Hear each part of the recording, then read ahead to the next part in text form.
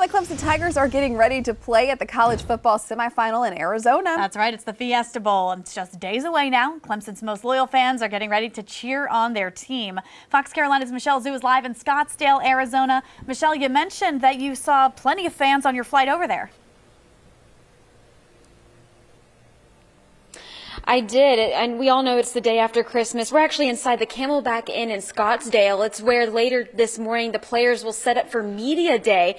But yes, you're right. I did see some fans on the way here in the airport already sporting their orange. Some even telling me that this Fiesta Bowl game is part of their Christmas celebration and their Christmas present to their kids. So the fans are definitely showing up regardless of how far out this is from Tiger Town. So they are getting ready, counting down the days to the Fiesta Bowl this Saturday. Evening, and I actually discovered that there's actually a club dedicated to welcoming and celebrating the Tigers. That's the Arizona Clemson Club. Now, that's a group of alumni, parents, friends. They all share a passion for all things Clemson. Now, the woman who founded it, Tracy Clark, she's actually an alumna of Clemson University. She founded it in 2011, and she is excited. They are all uh, ready to welcome more and more fans the days ahead leading up to the big game Saturday. And she says the location of the game is not stopping the fans from showing up. And I got a chance to chat with her just last night from the media room. Here's what she said.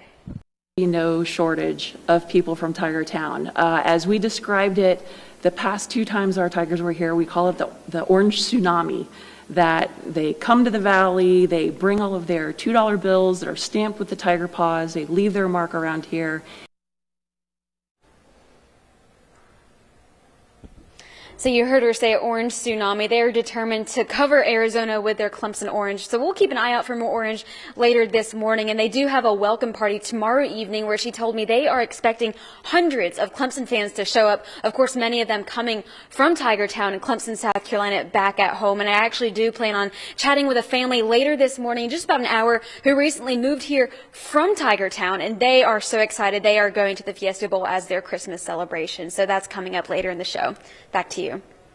All right. Thanks so much, Michelle. And of course, I know that it's going to be a very exciting day. A lot of folks are going to be heading out probably today or tomorrow. Mm -hmm. So we're excited to hear from more of them. Thanks so much.